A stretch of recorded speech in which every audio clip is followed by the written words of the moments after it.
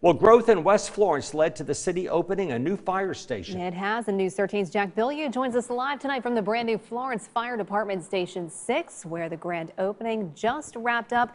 Much needed in that community, Jack. Yeah, good evening. This new station is only one part of the expansion. Florence Fire Chief Shannon Tanner says the project also involved moving Fire Station 4 to a new location to better accommodate West Florence's growth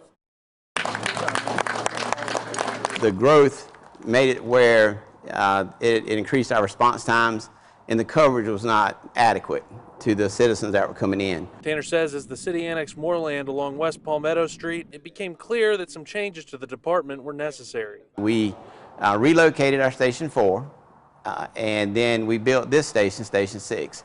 Uh, and in doing so, it kind of filled in that, that V gap uh, and now it takes us all the way to our growth boundaries. The growth in West Florence isn't just something the city's noticed. Several businesses recently relocated to the area. Growth along Palmetto's, uh, it's starting to pop. You know, it's things are starting to happen. Patrick Mahon, the head brewer at Local Motive Brewing Company, says the bar relocated from its downtown location nine months ago, and he hasn't looked back. You're right off Palmetto, but it doesn't feel like you're right off Palmetto.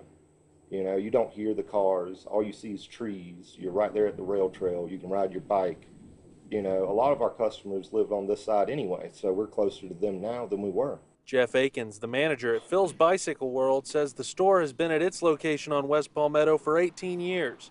He says he's witnessed much of the area's growth firsthand.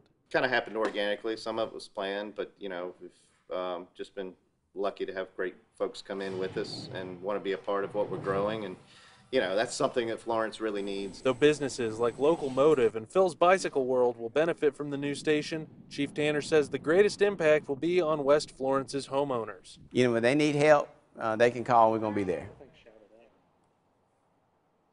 Chief Tanner says today's grand opening ceremony came almost exactly one year after they first broke ground on construction. Station 6 now houses four firefighters and their truck. Live in Florence, Jack Billieu, News 13.